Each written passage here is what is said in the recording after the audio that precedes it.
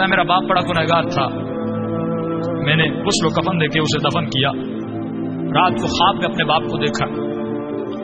ताजुब तब हुआ जब मैंने अपने बाप को जन्नत में देखा। मैंने कहा, बाबा, आप तो बड़े गुनहगार थे। आप तो बड़े खताकार थे। आप जन्नत में क्या कर रहे हैं? उसने कहा, मेरे लाल, तीन दिन तक मेरी कब्र में आग जल रही थी। तीन दिन तक मुझ पर फिशार कब्र, अजाब कब्र में मुबतला था। लेकिन तीन दिन के बाद कुछ कब्रें छोड़कर एक नेक खातून को दफन किया गया, जिसकी आने के बाद पूरे कब्रिस्तान में जिन जिन पे अदाब हो रहा था, उन पर अल्लाह की रहमतें नाजिल होने लगी। फरमाए नूर बरस रहा था। का बाबा, ये कैसा नूर था?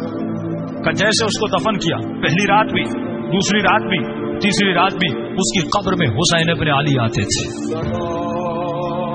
पर मैं जब उस खातून ने मेरे अदाब को देखा पर मैं उसके दिल में रहम पैदा हुआ और जब इमाम हुसैन उसकी कब्र में आए, उसने कहा, मौला, मुझ पर तो रहमतें हैं, लेकिन ये भी आपका चाहने वाला है, इसकी खबर में अजाब हो रहा है। मैं चाहती हूँ, मेरी खातिर आप इसकी शफात कर दें। का उस वक्त इमाम ने दुआ के लिए हाथों को बुलंद किया। मेरा आदाब खत्म हुआ। का बाबा, वो खातून कौन सी थी? का उसका नाम ये था। इसके शोहर का नाम ये है, फला मोहल्ले में रहती थी। ये नींद से उठा। उस मोहल्ले में गया। मेरा बाप बड़ा गुनहगार था।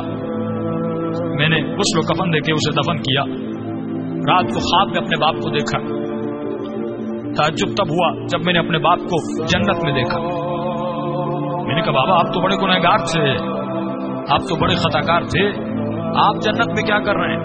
उसने कहा, मेरे लाल, तीन दिन तक मेरी कब्र में आग